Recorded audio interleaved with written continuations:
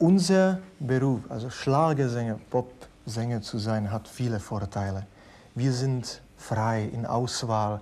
Ich kann morgen ein Lied singen, was mich gerade im Moment gefällt. Nicht wie in der Oper, wo man lange studiert ein Stück, wartet, singt sehr viel diesen ganzen Stück, diese Oper, um ein Hit zu haben in dem Stück. Das macht uns wieder, aber auf der anderen Seite äh, gibt es viele Nachteile, wie zum Beispiel, dass wir nirgendwo fest engagiert sind und wenn etwas gesundheitlich passiert, bekommen wir gar nichts. Dann muss ich zurück zum Skoda oder Checker. Sie, werden ja noch ein gewisses Polster haben. Ne?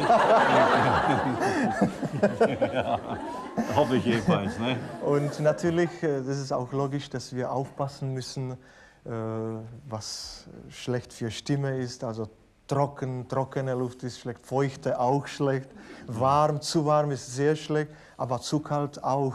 Und äh, also die Leute erzählen von Tenöre und ich bin ein Tenor, der auch immer sehr aufpassen muss. Man erzählt, die Tenöre reisen immer mit zwei Koffer. In einem hat er seine Garderobe und im zweiten Atteste vom Arzt. Ja.